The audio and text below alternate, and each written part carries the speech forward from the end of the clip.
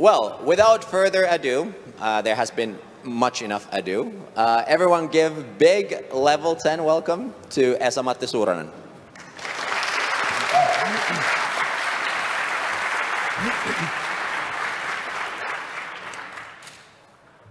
Thank you. So, my name is Esa-Matti Suuronen. I'm coming from Jyväskylä, which is, so I'm not quite local here in Helsinki, but not too far off, a little bit from north here. And here are the places you can see me on, on the internet. And this is the avatar I've used. So if you've seen this video game picture somewhere, that's me. And I work for Valo Digital Oy, and my day job is building developer tools and I mainly work on findkit.com, which is like this toolkit for making search experiences for websites. So it's like a tool for website developers. But I also tend to build quite often JS libraries, and I will be talking about one today. But before we go into it, I want to talk a little bit about TypeScript. And I'm, I'm a huge fan of TypeScript. I, I actually think it's the best thing that has happened to web developers, maybe since jQuery, I think. But unfortunately, it's, it's not perfect. There are some caveats when you, you are using TypeScript. And even if you are using all the strict modes and stuff like that, you still can get any types in your code from a bunch of places, like when you are making API calls, reading files, passing JSON, maybe even reading your database. You can get any types. Even though the code, code looks really good, there's like no explicit any, anywhere, no typecasts. And another one is like local storage. And there's um, what I call a feel-good fix for those any issues. And that's like just defining the interface or, or the type you want to use and just putting it in, in your code.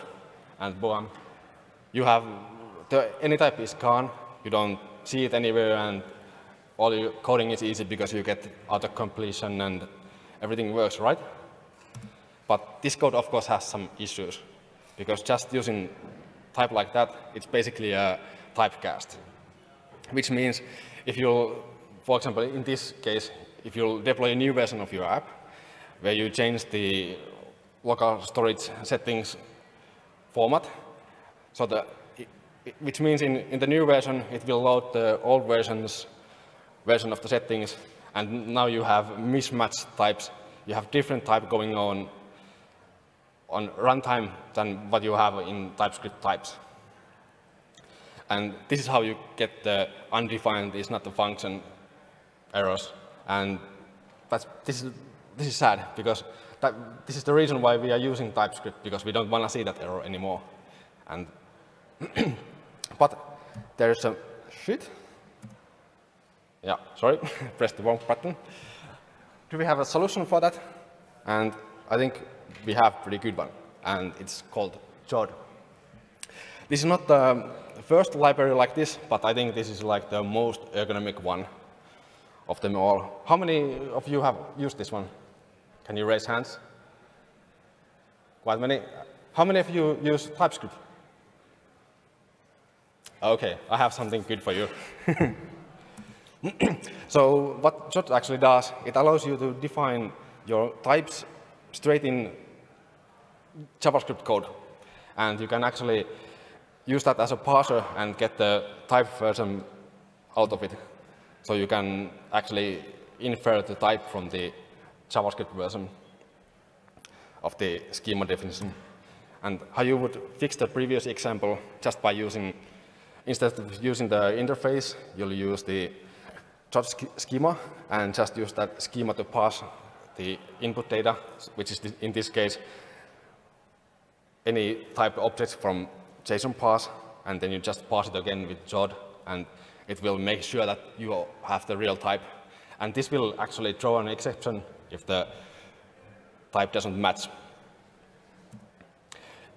Instead of having exceptions, you can also use safe parse version where you can actually use if statement to handle the type mismatch.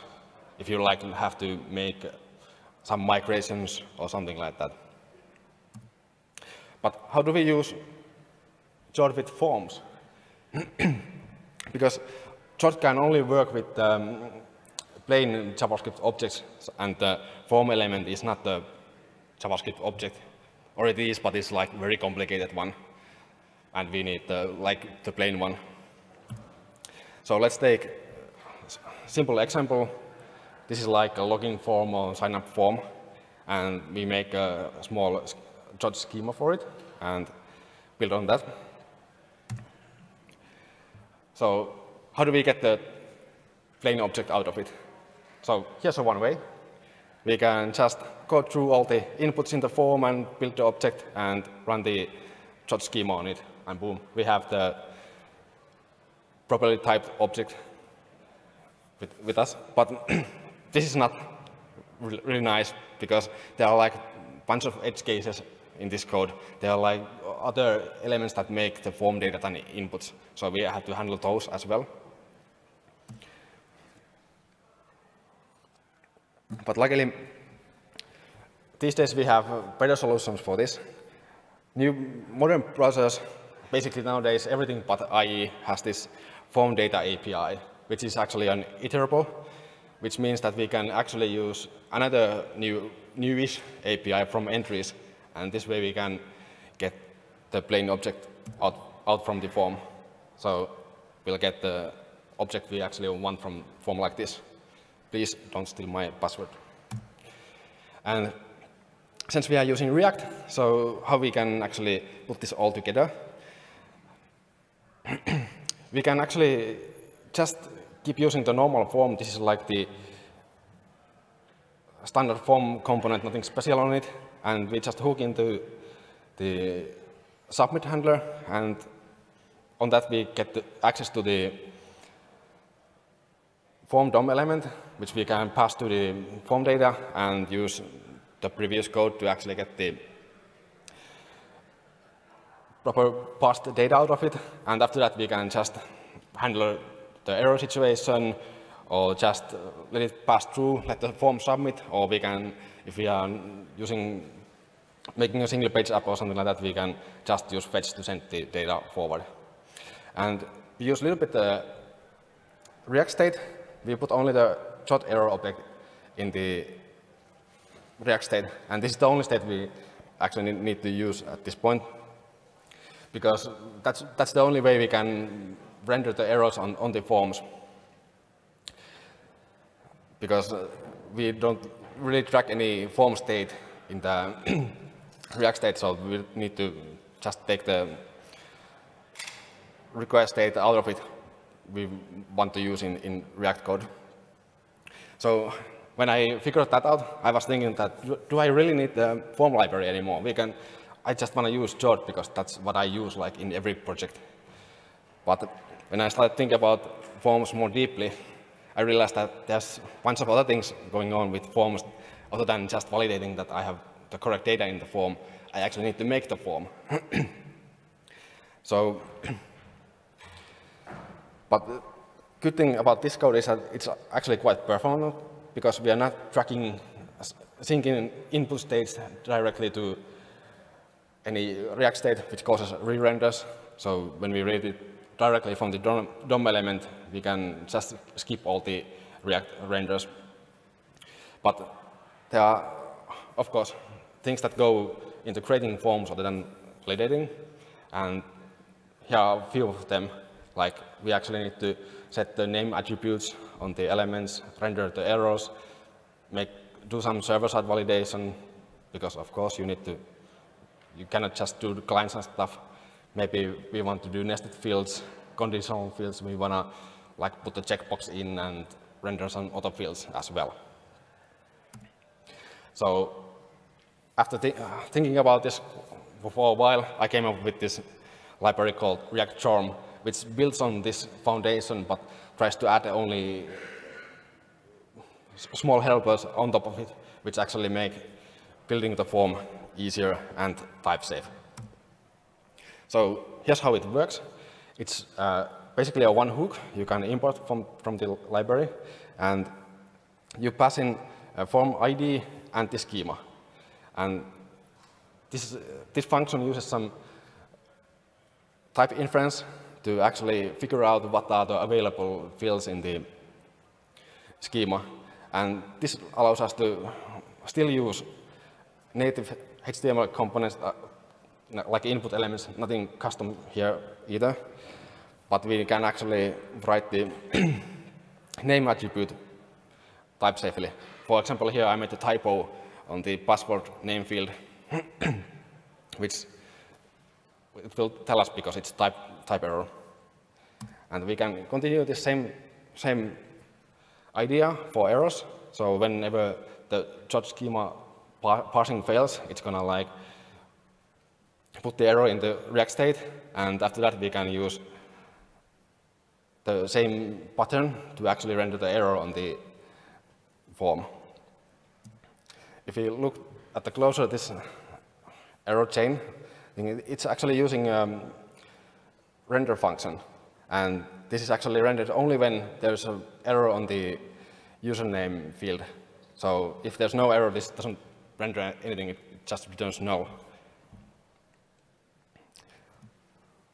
So how about nested fields? How we can use them? It's basically the same thing. You can just, just go through the nested fields and just use the property access and call the function at the end, and you will get the proper name attribute for your input field or whatever field. And same goes for the error rendering as well.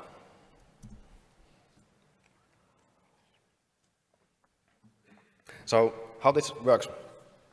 It's actually just generating a string like this, which is just passed into the JSON object after, or just plain JavaScript object after that. And it's actually borrows some code from underscore or lodash.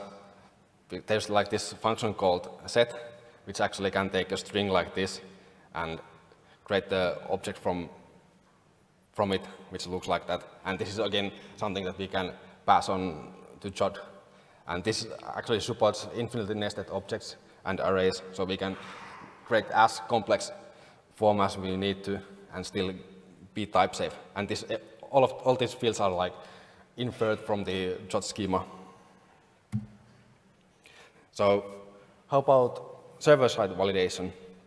This, this example is from Remix. So this, is, this function is basically a post method handler, but it, React Zorm doesn't really depend on any other framework. It's just using the browser APIs.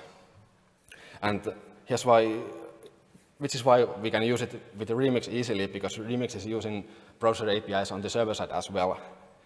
So in Remix, if you, when you handle a form, you can get the form data object from the request object. And then we can just import pass form function from React Zorm which is the same one it uses internally in the React hook.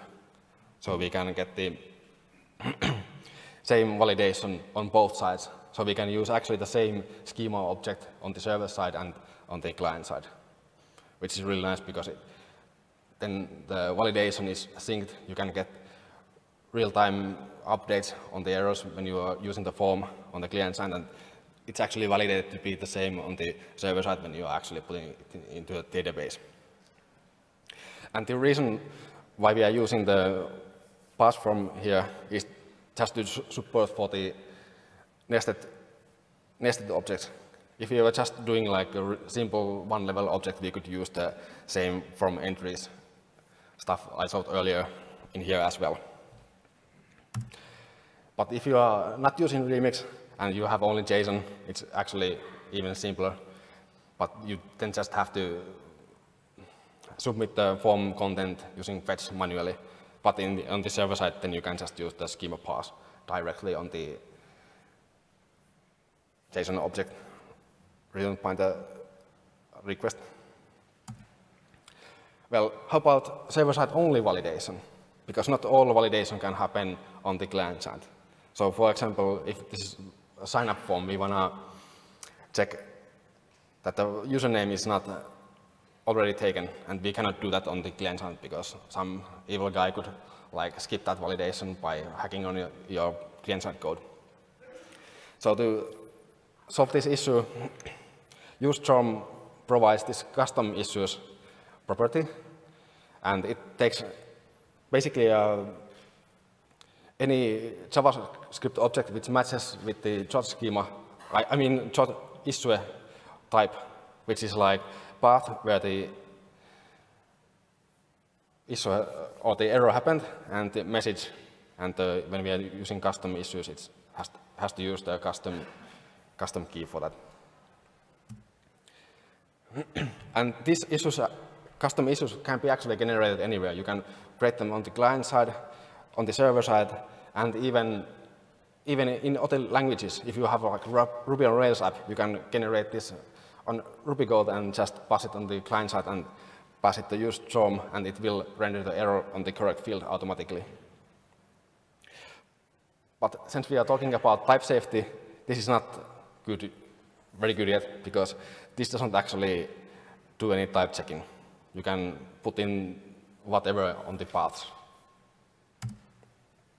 So for that, there's another helper called create custom issues, which takes in the schema object and again uses type inference to ensure that you are using correct keys. And it works pretty much the same as the other chaining objects. So you just call the function at the end to add an issue to the issues object. And so this is again the server-side handler. And then we, at the end, we just return an array of the issues and then on the client side, we just pass it to the useZorm hook, and we, we get the username is not available error on the username input field, which is nice. And in this code, this is Remix APIs, if you're not familiar.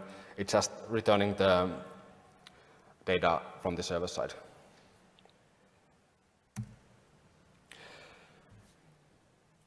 What, are, but what about third-party React components and the custom UI?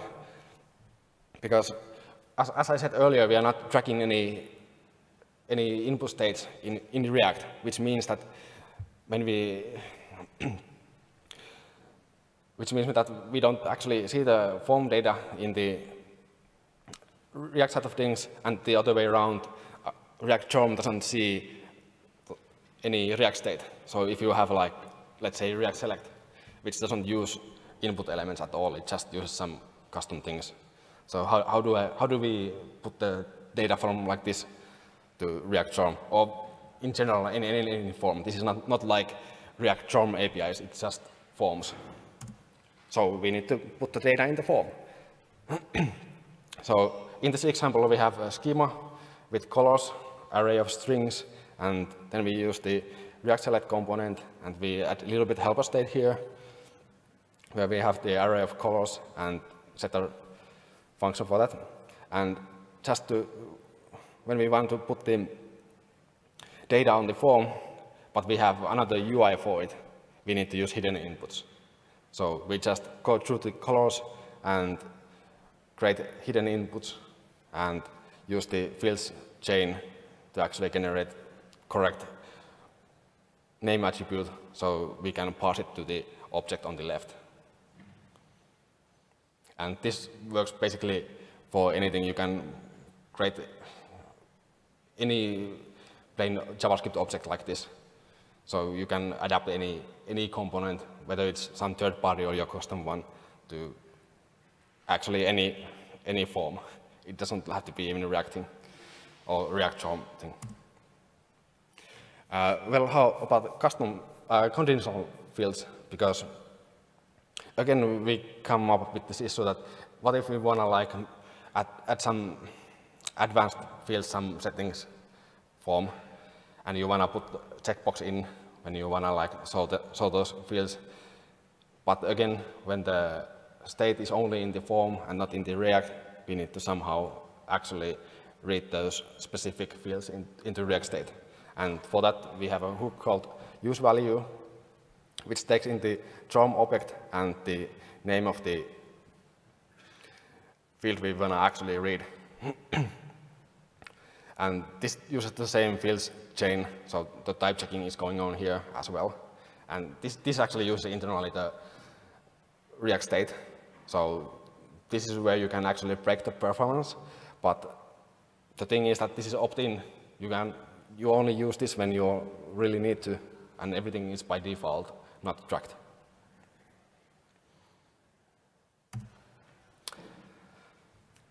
So a small recap. we don't track input state, states by default. We validate the form values directly from the form element and not, not from any reacting.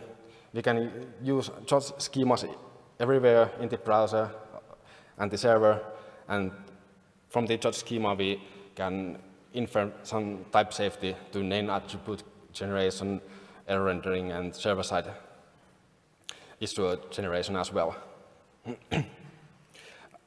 How about other frameworks? Since the code in this library is not actually very reactive even, it's only one hook that actually just gets the form element and works from that. So it should be actually quite easy to port this library to other frameworks like Solid or even web components maybe, who knows. So if this seems interesting, you can ask me, come and ask, so we can figure out how to, how to actually implement this in other frameworks as well. Check out the README. There's like a bunch of examples and some patterns how to, how to use this library. And And and if you have any questions, feel free to reach me out on Twitter or in the Q&A session afterwards. And I really actually like to hear some questions how to like use this in some specific situation because there's not that many that much API in this library, but I think there's like patterns you can use to actually create the handle the more complicated situations just using this API. Thank you.